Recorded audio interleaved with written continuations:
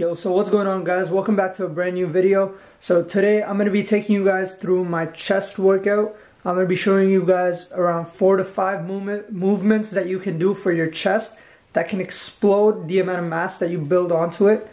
So these workouts, like I said from uh, the episode one, these workouts can, are good for beginners, for intermediate or advanced.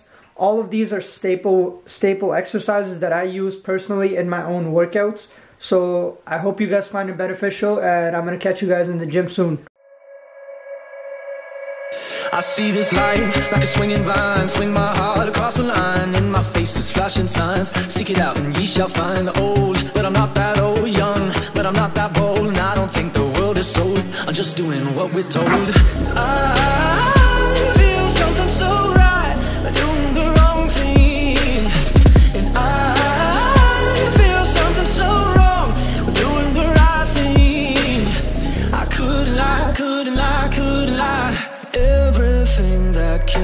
kills makes me feel like Lately I've been, I've been losing sleep. Dreaming about the things that we could be. But baby, I've been, I've been praying hard. Said no more counting dollars, we'll be counting stars. Lately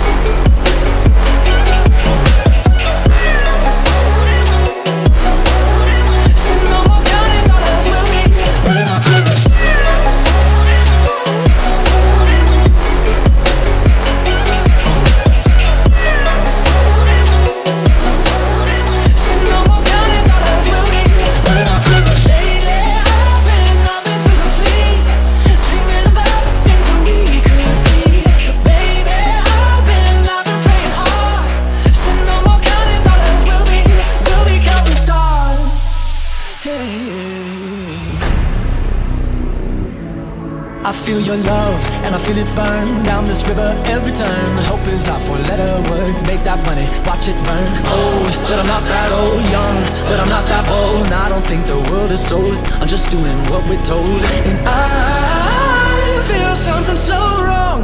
We're doing the right thing. I could lie, could lie, could lie. Everything that kills me. Alright guys, so I just finished up that workout, like the chest workout, and honestly I had a pretty sick pump, I can't lie. Uh, so the, I'm just gonna go over uh, the exercises that we did, or the ones that I did. Basically I started off with the incline bench press.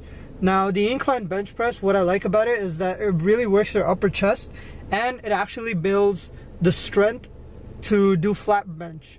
So I've been really focusing on the incline bench lately so that I can build up the strength on my flat bench. Next, I believe, was the uh, dumbbell dumbbell flies. So what that does is basically works the sides of your chest, like like the mid mid section of your chest, and really build uh, put some power into the middle section of your chest. It also increases the power on your bench press. What I've noticed doing those flies, it's also increasing the power on my bench press, flat or incline. So that's what I that's why I really made it a staple in my chest workouts. Next was the I believe I did dips. So in the dips, uh, it works your triceps and your chest. So gives you a sick tricep pump and gives you a sick chest pump. So that's what I always included into my push days.